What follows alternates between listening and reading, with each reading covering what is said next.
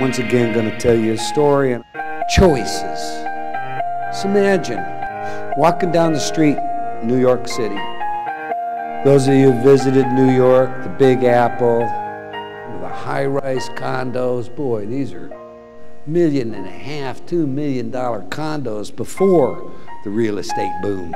And I'm walking along, kind of looking, skyline, and from a third store balcony, flower pot falls. Hits me in the head. Falls to the ground, pot breaks, flower falls out. I have some choices. I bet you can all think of this one. You sue this guy. He's got a lot of bucks. Look at the place he lives in. I'll claim, you know, concussion. You know, get my digital little portfolio out and call my attorney right now. Do that.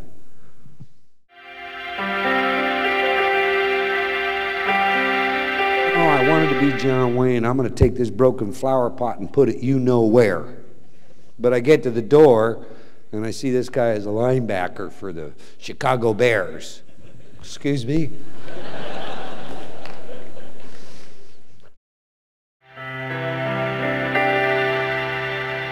I can be metaphysical. Thank you.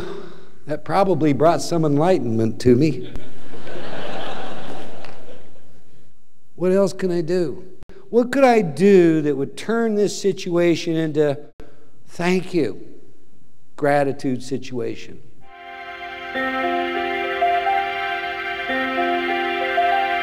Ah, what if I were to take that flower, go over to the corner florist, have it repotted, take the pot back to the owner, it fell off your balcony, pot was broke, wanted to return it to you repotted.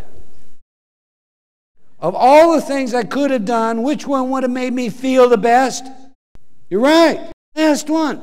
My body would have been filled with all those good, warm, fuzzy chemicals. I would have had a moment of ah. I had a great laugh looking at the expression on the person's face.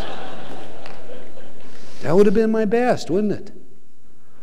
How many of us would think of that? Choices.